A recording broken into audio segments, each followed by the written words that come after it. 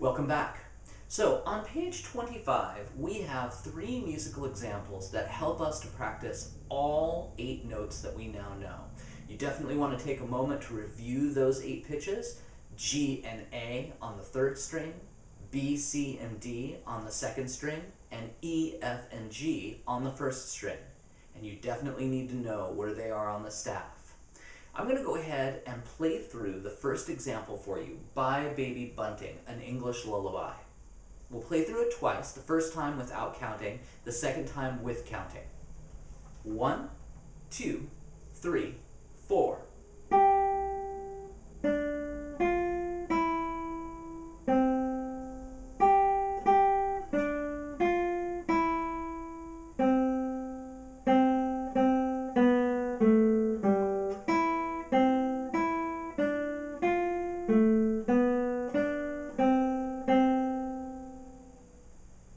Notice right away that there are some very tricky leaps on the second line.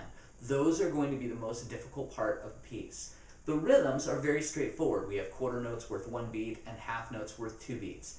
In the right hand, we're not doubling. We're always going index, middle, index, middle using rest strokes. So for this exercise, you may want to take a moment and play index middles on the third string just to make sure that you're not repeating a finger. Run it as an exercise. Now, I'll do that first exercise again, and I'll count it off for you. One, two, three, four. One, two, one, one, one, two,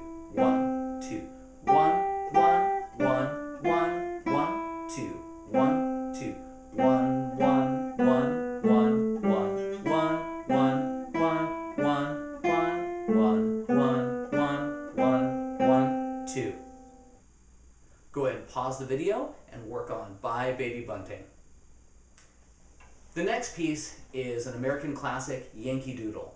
Yankee Doodle is a very fun piece that should be a quick learn. It, as you look at the piece, you'll see that there's a lot of sequential motion, note to note to note, not a lot of leaps. It's also got very straightforward rhythms, quarter notes with a couple of half notes, and there's a lot of repetition.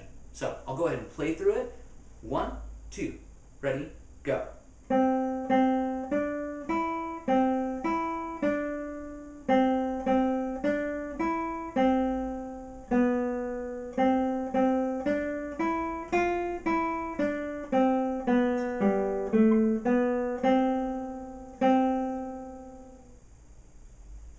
There's only one tricky uh, leap that is on the second line at the second to last measure.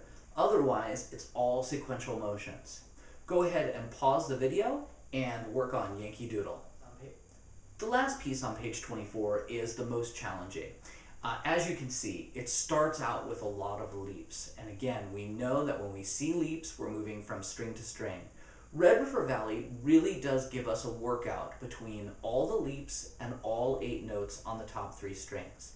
Go ahead and challenge yourself to name through all the notes in the piece. You can go as slow as you need to, but name through them so that way you properly know that you've identified where those pitches are and who they are.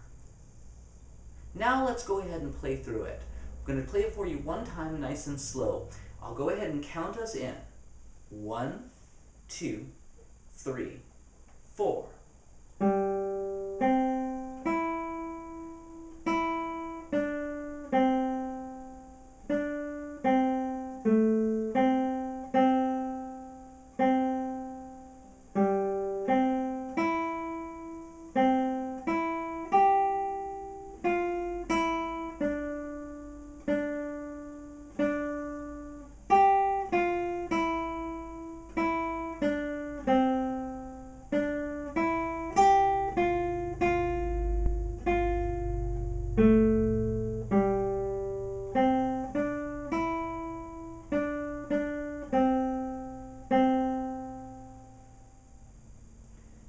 These three pieces will give you a great challenge in really mastering the top three strings.